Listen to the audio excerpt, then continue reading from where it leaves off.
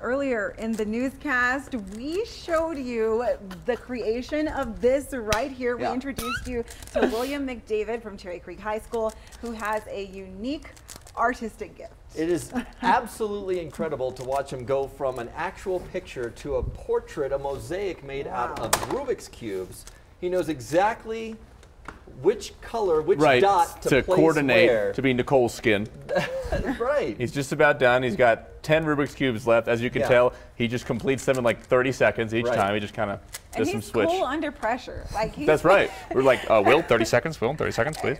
He just focused. Look at that. And I mean, that's Nicole. So as you can tell, that is very clearly a morning anchor, Nicole Brady. Uh, we have her, the headshot that this is based off, Oh. so we can kind of show, for those who don't maybe watch us every day, haven't seen Nicole's face before, we can show the difference. So, Look at that. Look at that. Amazing. wait one second, lean back for a second. Okay, look at that. Nicole. Yeah. Nicole.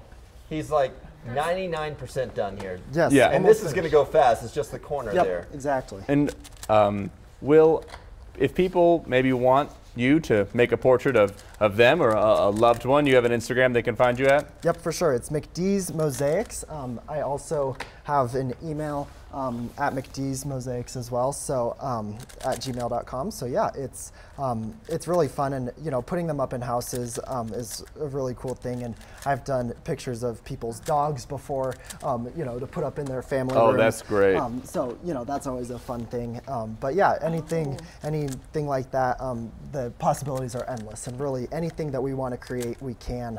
Um, so yeah, it's super fun, a super fun gift, or um, you know, anything like that. So- Man, if I had this gift when I needed to save up for a car when I was in high school, he's a junior. He can get anything he needs for high school, you know, cool clothes.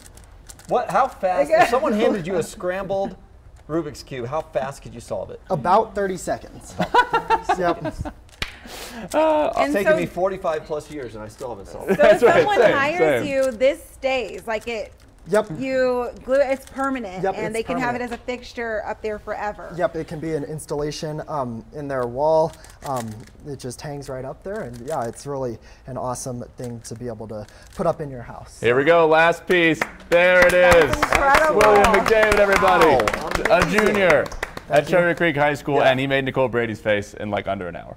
Yes. What do you run at track and field? I run the 200, 400, and 800. So yes, Fast at everything. And he's class president next year.